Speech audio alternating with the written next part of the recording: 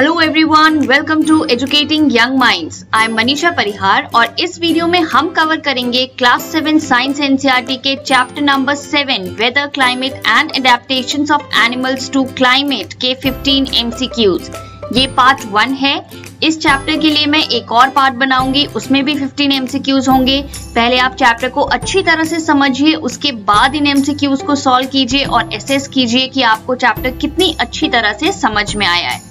Okay चलिए, शुरू करते हैं. But before that educating young minds को सब्सक्राइब ज़रूर कीजिए. Question number one which of the following is an element of weather one temperature two humidity three rainfall four wind speed अब आपके option हैं one two and three one three and four one two three and four one two and four इनमें से कौन कौन से elements of weather हैं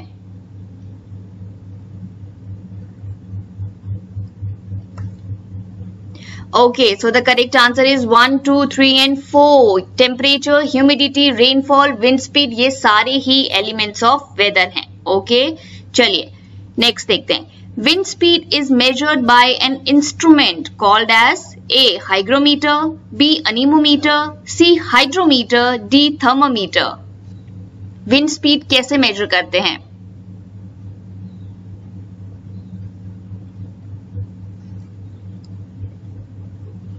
Okay so the correct answer is B anemometer wind speed is measured by anemometer this is anemometer okay question number third the average weather pattern of a place taken over a long time से 30 years is called as A weather B climate C. Temperature and rainfall. D. Both A and B. Average weather pattern.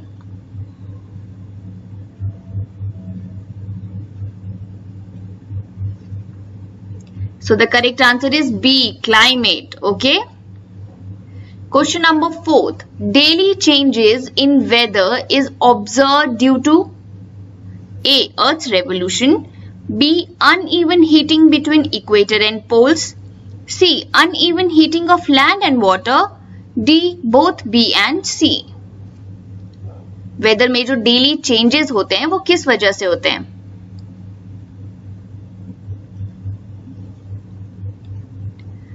okay so the correct answer is D both B and C जो daily changes हमें weather में देखने को मिलते हैं, वो होते हैं due to uneven heating between equator and poles and uneven heating of land and water by sun okay question number fifth देखते हैं. The presence of specific features और certain habits which enable a plant और an animal to live in its surrounding is called as A. Hibernation, B. Migration, C. Adaptation, D. Both, B and C कुछ specific features develop हो जाते हैं plants और animals में जो उन्हें help करते हैं किसी हैबिटेट में रहने के लिए सरवाइव करने के लिए उन्हें हम क्या कहते हैं the correct answer is C adaptation right चलिए, आगे बढ़ते हैं question number six places near the equator have dash climate equator के आसपास जो जगह है, वहाँ का क्लाइमेट कैसा होता है? A polar B tropical C temperate D desert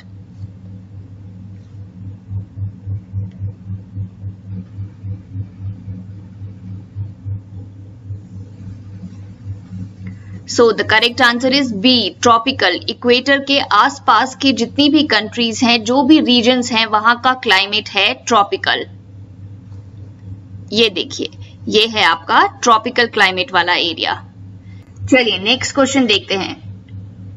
Question number seven which of the following are adaptive features of polar bear polar bear के अडेप्टिव फीचर्स क्या क्या हैं? Number one white fur two strong sense of smell number three can not swim number four long curved and sharp claws आपके option हैं one two three and four one and two one two and four one two and three correct option आपको choose करना है कि कौन कौन से polar bear के अडेप्टिव फीचर्स हैं।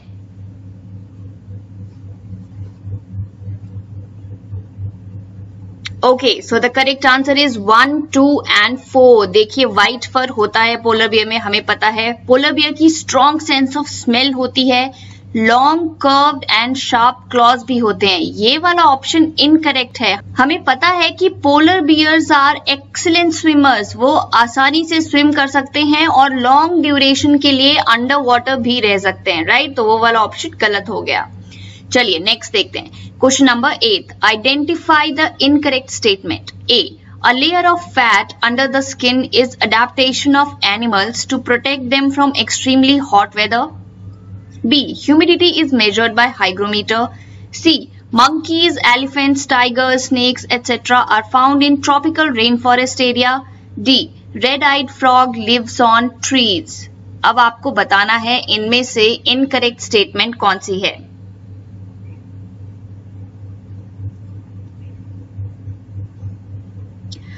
okay so the correct answer is A ये वाली स्टेटमेंट जो है वो इनकरेक्ट है। क्यों? क्योंकि जो लेयर ऑफ़ फैट है अंडर द स्किन वो अडेप्टेशन है उन एनिमल्स की जो एक्सट्रीमली कोल्ड वेदर में रहते हैं पोलर एरियाज़ में रहते हैं, ना कि हॉट वेदर में। बाकी सारी स्टेटमेंट्स जो हैं वो करेक्ट हैं। ह्यूमिडिटी को हम हाइग्रोमीटर से मेजर करते हैं मंकीज एलिफेंट्स टाइगर स्नेक्स ये सब आपको ट्रॉपिकल रेन फॉरेस्ट एरियाज़ में मिलेंगे। और रेड आइट फ्रॉग जो है वो मोस्टली ट्री पर रहता है okay question number nine which of the following statements are true about tropical region A days and nights are almost equal in length second one region gets low rainfall third wide variety of plants and animals are found fourth even in the coldest months average temperature is higher than 15 degree Celsius अब आपके options जो हैं वो ये हैं. One three and four one two and three one two three and four one two and four आपको बताना है ट्रॉपिकल रीजन के बारे में, इनमें से कौन कौन सी स्टेटमेंट जो है वो करेक्ट है?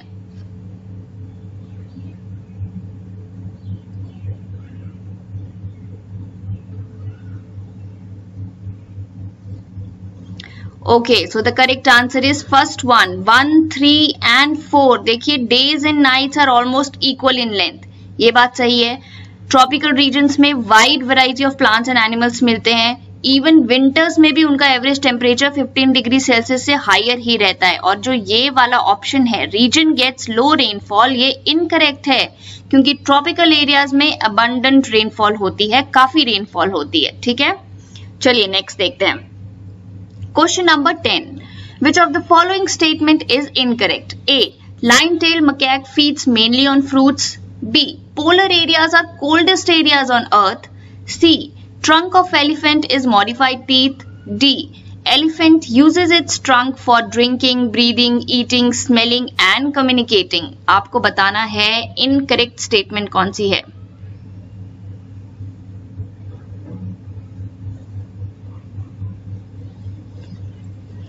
okay so the correct answer is C ये वाली स्टेटमेंट इनकरेक्ट है. देखिए लाइन टेल मकैक जो है, वो फ्रूट्स पर फ़ीड करता है. मेनली फ्रूट्स पर फ़ीड करता है. पोलर एरिया सबसे ज़्यादा कोल्डेस्ट एरियाज़ है ऑन अर्थ अब जो बात है trunk of elephant is modified teeth actually tusk of elephant is modified teeth यहाँ देखिए, ये जो है, ये है एलिफेंट का ट्रंक और ये है उसका टस्क सो जो टस्क है, वो है मॉडिफाइड टीथ और जो ये वाली स्टेटमेंट है कि जो ट्रंक है, उसे एनिमल जो है सॉरी एलिफेंट जो है, वो यूज़ करता है for drinking breathing eating smelling and communicating okay next देखते हैं.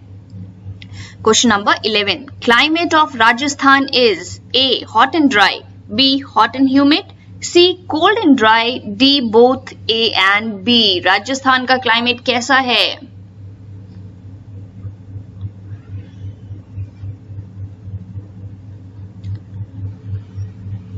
Okay so the correct answer is hot and dry काफ़ी गर्मी पड़ती है और रेनफॉल भी ज़्यादा नहीं होती। हॉट एंड ड्राई ठीक है?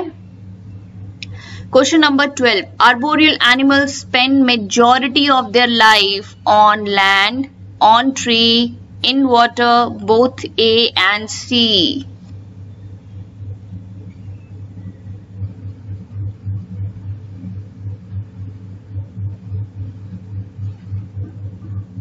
so the correct answer is on tree arboreal animals वो एनिमल्स हैं जो अपनी लाइफ का मेजोरिटी टाइम जो है, वो ट्रीज पर ही काट देते हैं, बिता देते हैं। ओके चलिए नेक्स्ट देखते हैं। Question number thirteenth identify the incorrect match A lion tail macaque silvery white mane B red eyed frog sticky pads on feet C toucan very short beak D monkeys long tails incorrect match क्या है? कौन से animal के साथ उसका feature जो है वो मैच नहीं कर रहा है?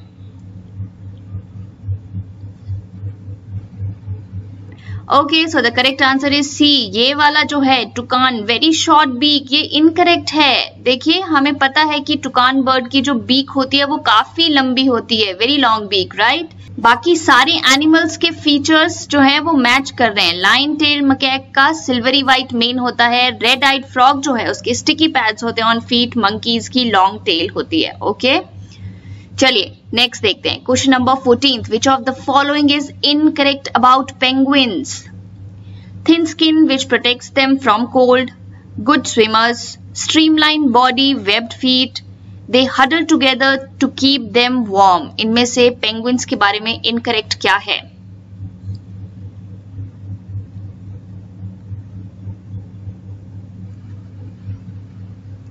Okay so the A option is incorrect देखिए पेंगुइन्स गुड स्विमर्स है, हमें पता है स्ट्रीमलाइन बॉडी होती है वेब फीट होते हैं हडल करते हैं टू कीप देम वार्म लेकिन उनकी स्किन थिक होती है थिन नहीं होती, मोटी स्किन होती है और मोटी स्किन प्रोटेक्ट करती है उनको फ्रॉम एक्सट्रीम कोल्ड राइट चलिए नेक्स्ट देखते हैं। Question number fifteen Many tropical animals blend their skin color with the surrounding. This feature is called as A camouflage B hibernation C adaptation D blending बहुत सारे tropical animals जो हैं, वो अपने skin colour को अपने सराउंडिंग के colour के साथ ब्लेंड कर देते हैं, ताकि वो आसानी से अपने प्रे को कैच कर पाए और आसानी से उनका प्रिडेटर उन्हें देख ना पाए। इस फीचर को हम क्या कहते हैं?